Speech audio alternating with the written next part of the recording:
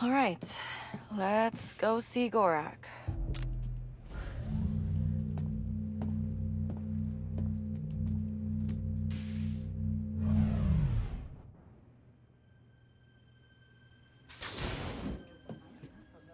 Hmm, that looks like an underboss.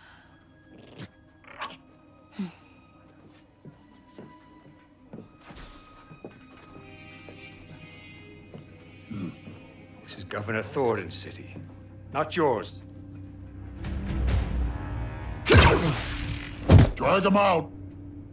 And tell the governor the payments will not increase. I don't know you.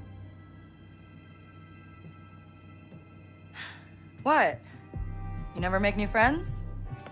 I have enough friends. Yeah, but you don't have to pay me to hang out with you.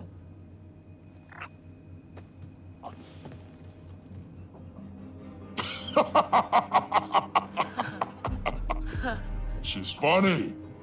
Walker sent me. He said, uh, you might have some work?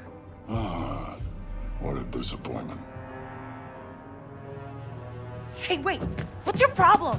Smart enough to get into my suite, careless enough to use Walker's name. You're new to this world. Come back when you're not.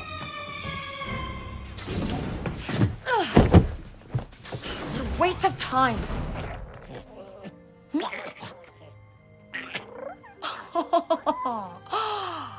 Good boy.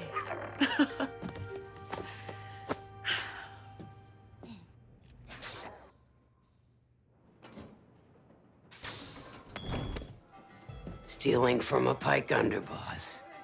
First day? Easy. Name's Donka. I'm a broker for every job on this moon. Not many syndicates where I'm from. Hey, this is legitimate business. Mirogana is special, kid. Empire keeps this cantina neutral. But beyond these walls, it's war. You want to survive? Know the players. Look there. The Pykes have the most say, thanks to Gorak. Cutthroat, political. They pay up to play favorites with the Empire. Then, Crimson Dawn. Hungry for Gorak's kingdom. Crafty, sneaky. Unlike the Hutts. With them, what you see is what you get. Out here, you live and die by your reputation. That said, a friend needs a little something stolen from Gorak's private base. Some information he'd hate to get out. And who's hiring me to steal from the top syndicate in town? Sorry, kid. In or out. That's all you get. Tell your client Kay Vess is in. Cute. Desperate, but cute.